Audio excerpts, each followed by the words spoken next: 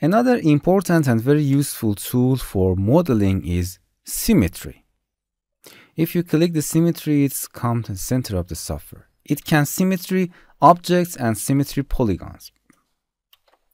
For example, I insert a figure here. Okay, it's very insert a figure here. And display line. For example, I want to uh, mirror this, for example, object or figure from this plane in this way. You can use simply, or any object, simply symmetry. The axis of the symmetry is important that is here and our object here. You can simply click and drag and make a child of that. As you can see, symmetry of object. You can go in a figure and change it and the symmetry it's, is plain here. You can go into the symmetry uh, object and here is a mirror plane. You can, it's automatically in ZY. You can here ZY, you can see the ZY. Click on a figure and you can rotate it and any work it will be mirror that in a axis. You can change the uh, plane if you want. For example, the object is here, the plane is uh, Y and Z. You can change it. Other settings are for polygon symmetry. Okay, I give an example for polygon. This is very important. If you want to modeling, for example, face, body that is are symmetrical, and you modeling uh, for example, left of the, your face and uh, it will be symmetry and mirror in the right and connect together. For example, I have a cube here. And I want to make it editable. Before that, I want to add a uh, segmented Z. As you can see, it's here. Mm, no. Add a, add X, I think. Yes. I want to cut this object at the middle. For example, uh, for it's possible your object does not in the center. But the important thing before assigning the symmetry is holding Alt and then click because its axis of the symmetry must be in the axis of the in the center axis of the object.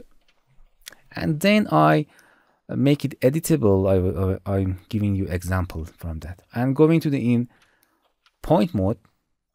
For example, I want to work in this area and want to mirror in that area, okay? In this case, we have to delete uh, half of the model and uh, work on the other half and with dense symmetry on the other side. Going to the selection and a rectangle selection, click and drag, select all these four points and delete it. Turn off the symmetry as you can see it is half. If the symmetry will be on in this plane you have to change plane. For example uh, play with them to make your plane and here is YZ as you can see. It's YZ. And it's very nice going to your cube and going to the move object and simply move it. As you can see, we have a symmetry symmetrical editing. You can edit anything here. For example, going to the face, changing the face, or using uh, inset. And everything will be symmetry at the other side. It's very important. Okay, going to its settings. This tool will be weld the point here. Weld point. It must be ticked to welding the point after we make this object editable after our work. The tolerance means uh, the, the point that are at the same position or very in a small location with each other, they will weld, weld uh, in this range or less. The symmetrical is uh, for symmetricaling the point.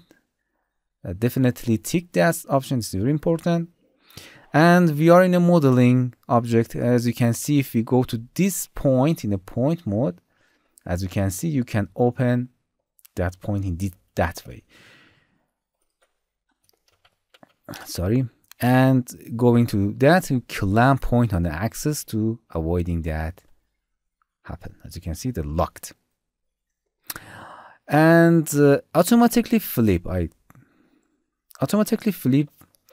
For example, in this object, as you can see, uh, this part was our main object. For example, I work in this part and going to the one to that part and continue my editing.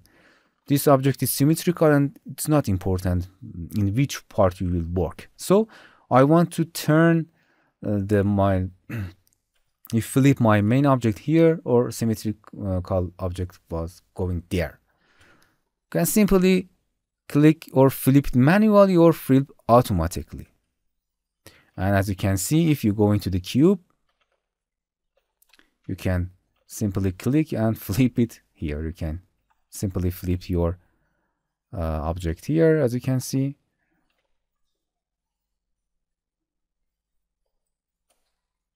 Okay. So as you can see, it flipped the between or the original object to the flip object. You can work on them as a as you can see when you change the view, it's flip for you. Okay. Another important option is delete polygon on axis. If you select that, click that object and clamp it. After the clamp point on axis, this option will be mm, active. Going to the cube.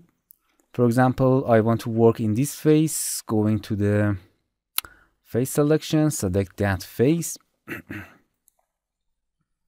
because of the symmetry, both of them will select. Going to the right click and insert, click and drag the other side and simply hold control and click and drag and our problem occur here.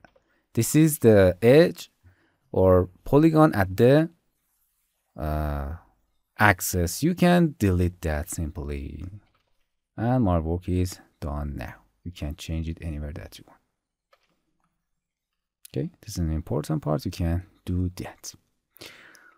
Okay, this is symmetry. I give you example, a simple example. You can do it in a complex modeling.